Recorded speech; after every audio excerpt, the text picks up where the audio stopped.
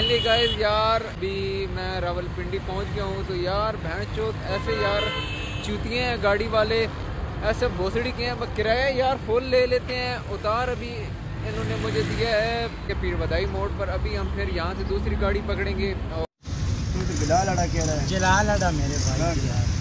मुझे अड्डे के पास उतार बस उसके सामने उतारेगा अड्डे पे नहीं जाएगा अड्डे के रोड पे उतारेगा परली से भाई हेलो भाई बैठो। इस वक्त मैं पाकिस्तान की जो सबसे मशहूर और सबसे ज़्यादा इस्तेमाल होने वाली जो गाड़ी है रक्षा उसमें बैठ गया तो हेलो गाइज़ अस्सलाम वालेकुम तो आगे एक न्यू एंड अदर वीडियो के साथ। तो फाइनली गाइज़ मेरा इस्लामाबाद का टूर सेलेक्ट हो गया तीन दिन का मेरा टूर है।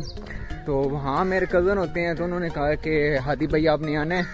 तो आप लोगों को इंशाल्लाह इस्लामाबाद की जितनी भी प्यारी प्यारी चीज़ें हैं, जितने भी प्यारे प्यारे मनाजर हैं, आप लोगों को विज़िट करवाएँगे। तो अभी जा रहा हूँ the beautiful city of Punjab, Pakistan, Islamabad. तो बहुत ज़्यादा यार एंजॉय होने वाला है। तो आप लोगों ने मेरे साथ रहना है। अभी ये आप लोग देख सकते हैं, पीछे मैंने बैग शेक पहना हुआ है। इसमें सारे मैंने अपने कपड़े वगैरह रख लिए हैं। तो घर से जब मैं निकला तो अम्मी जान ने मेरा सदका दिया है। क्योंकि यार जब बंदा सफ़र पर निकलता है ना तो लाजमी आप लोग सदका दिया करो। इससे ये होता है कि बरकत होती है।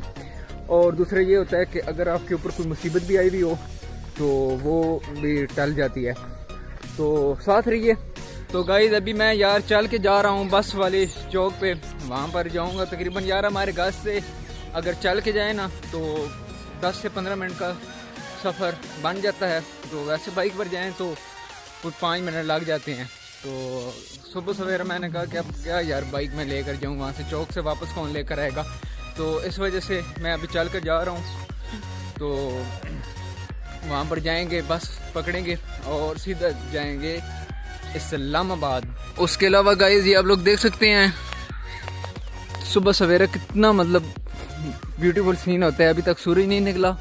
मैं सुबह सवेरे अभी जा रहा हूँ, क्योंकि यार मुझे साढ़े आठ तक। वहाँ पहुँचना है, कुछ मेरा अपना भी ज़रूरी काम है। ये यार परिंदों की इतनी प्यारी प्यारी आवाज़ें आ रही हैं। तो बहुत प्यारा यार मंजर देखने को मिलता है सुबह सवेरे। तो और वैसे भी यार हमें अलहमदिल्ला यार सुबह सवेरे ही उड़ने चाहिए, क्योंकि हम मुसलमान लोग हैं, अल्लाह पाक की हमें इबादत भी करनी चाहिए। तो अगर आपके रिज्क में तंगी है ना तो आप सुबह सवेरे उठो, क्योंकि कहा जाता है कि अल्लाह पाक सुबह सवेरे फरिश्तों के हाथ लोगों में रिज्क तकसीम करते हैं। तो अगर आप सोए रहेंगे तो आपको क्या रिज्क मिलने हैं? तो अगर आप लोगों की तंगी है तो आप सुबह सवेरे उठो, नमाज़ पढ़ो, उसकी ज़ात की इबादत करो। तो इन इनशाला अल्लाह पाक के फजल करम से आप लोगों की तंगी दूर हो जाएगी। और आप एक खुशहाल ज़िंदगी गुजार सकोगे। तो फाइनली गाइस अभी 10 मिनट का सफ़र करने के बाद मैं इधर पहुँच गया हूँ चौक पर तो यहाँ से पकड़ेंगे इस्लामाबाद वाली गाड़ी और निकलेंगे सीधा इस्लामाबाद। तो गाइस ये मैं पाकिस्तान की घसी पुसी हुई गाड़ियाँ हैं, पाकिस्तान की घसी पुसी हुई गाड़ी। आईएस में सवार हो गया हूँ।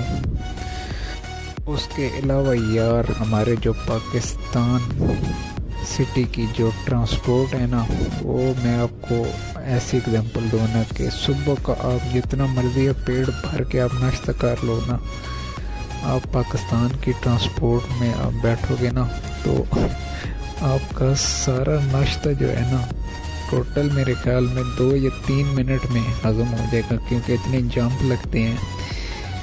इतनी चीज़ें होती हैं और उसके अलावा ये इस्लामाबाद ट्रैवल के कुछ हसीन मनाजर आप लोग देख सकते हैं।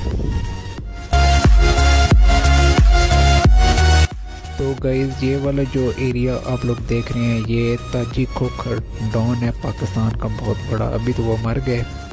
लेकिन उसका बेटा है, वो चला रहा है। ये उसका डेरा है इस साइड पे। आप चकवाल वाली साइड से आप इस्लामाबाद हो तो ये आपको देखने को मिलेगा। आ रहा हूँ मैं, ज़िंदगी आ रहा हूँ मैं। तो यार फाइनली गाइस डेढ़ घंटे का सफ़र करने के बाद चकवाल सिटी से अभी मैं रावलपिंडी पहुँच गया हूँ। तो यार, भोसड़ी के ऐसे भाई गाड़ी वाले हैं कि अभी इन लोगों ने मुझे बधाई मोड़ पर, अभी हम फिर यहाँ से दूसरी गाड़ी पकड़ेंगे और जाएँगे इधर मंडी मोड़ पे। तो वहाँ से गाइस हम लोग गाड़ी आगे की गाड़ी पकड़ेंगे, जो इस्लामाबाद सेक्टर में जाती है। तो हमारे साथ रहिए। शुक्र है यार, मैं पानी वाली बोतल साथ लेकर आई हूँ, क्योंकि पाकिस्तान के ट्रैफ़िक का निज़ाम तो आप लोगों को पता ही है। तो मेरी यार आदत है कि मैं जहाँ भी जाता हूँ तो पानी वाली बोतल घर से लेकर आता हूँ साथ। तो अभी मैं जाऊँगा यार मंडी मोड़ से। यार देखेंगे कितनी जलालत होती है कि बंदा यार तीन गाड़ियाँ तब्दील करनी पड़ती हैं एक जगह से दूसरी जगह जाने लग पड़े तो पाकिस्तान की ऐसी ट्रैफ़िक है। तू तो बिलाल अड़ा के रहा है। जलाल अड़ा मेरे पास मुझे अड्डे के पास उतार। बस उसके सामने उतारेगा ऑटो पे नहीं जाएगा ऑटो के रोड पे उतारेगा परली से तो भाई बैठो। इस वक्त मैं पाकिस्तान की जो सबसे सबसे ज़्यादा इस्तेमाल होने वाली जो गाड़ी है रक्षा उसमें बैठ गया।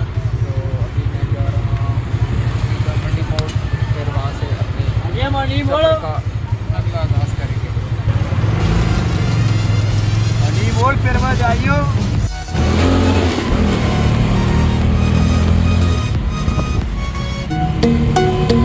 तो यार 20 मिनट का मजीद सफ़र करने के बाद अभी मैं मंडी मोड़ पहुँच गया हूँ।